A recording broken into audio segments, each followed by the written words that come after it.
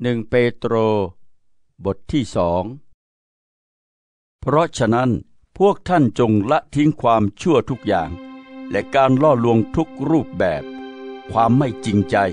ความอิจฉาริษยา และการใส่ร้ายทุกชนิด เช่นเดียวกับทารกแรกเกิด จงปรารถนาน้ำนมฝ่ายวิญญาณที่ไร้สิ่งเจือปน เพื่อด้วยน้ำนมนั้น พวกท่านจะเติบโตขึ้นสู่ความรอด ในเมื่อพวกท่านได้ชิมแล้วว่า องค์พระผู้เป็นเจ้าทรงดีเลิศจงมาหาพระองค์ พระศิลาที่มีชีวิตที่แม้ถูกมนุษย์ปฏิเสธแล้ว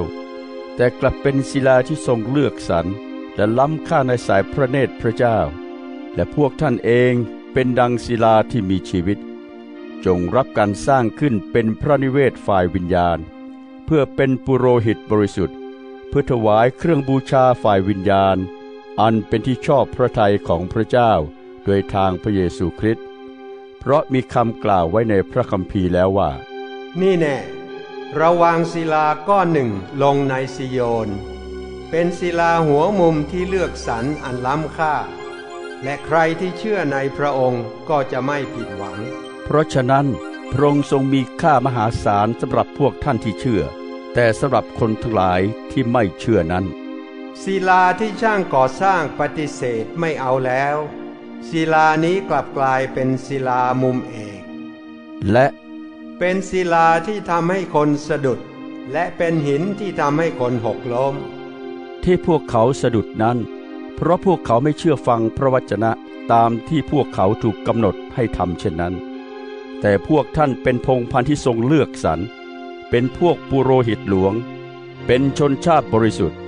เป็นประชากรอันเป็นกรรมสิทธิ์ของพระเจ้า เพื่อให้พวกท่านประกาศพระเกียรติคุณของพระองค์ เพื่อจะทรงเรียกพวกท่านให้ออกมาจากความมืด เข้าไปสู่ความสว่างอันมหัศจรรย์ของพระองค์ เมื่อก่อนพวกท่านไม่ใช่ประชากร แต่บัดนี้พวกท่านเป็นประชากรของพระเจ้าแล้ว เมื่อก่อนพวกท่านไม่ได้รับพระเมตตา แต่บัดนี้พวกท่านได้รับพระเมตตาแล้ว ท่านที่รักทั้งหลาย ข้าพเจ้าขอร้องพวกท่าน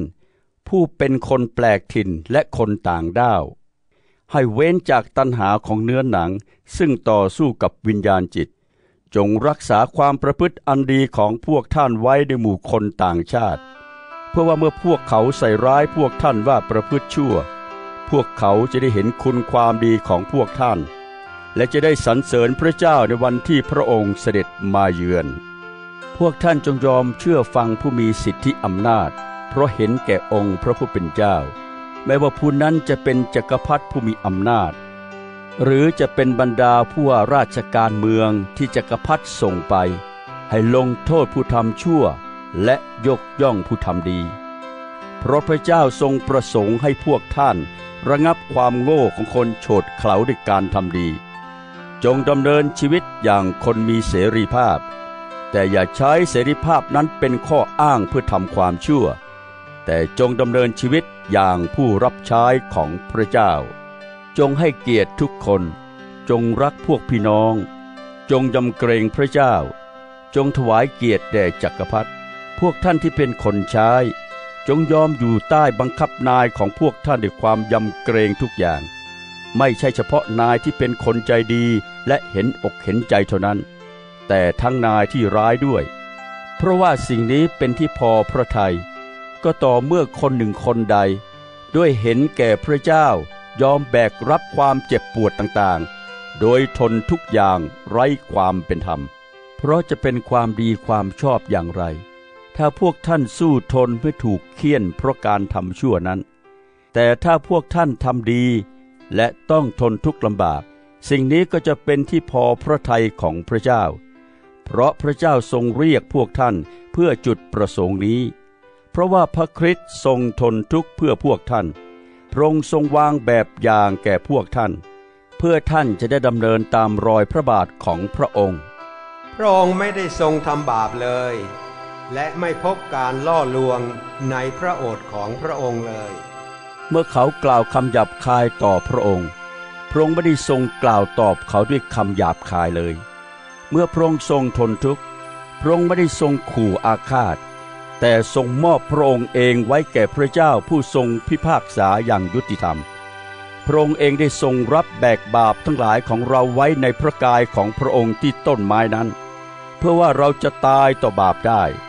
และดำเนินชีวิตเพื่อความชอบธรรม ด้วยบาดแผลของพระองค์ พวกท่านจึงได้รับการรักษาให้หาย เพราะว่าพวกท่านได้หลงเจินไปเหมือนแกะ แต่เดี๋ยวนี้ได้กลับมาหาพระผู้เลี้ยงและผู้ดูแลวิญญาณจิตของพวกท่านแล้ว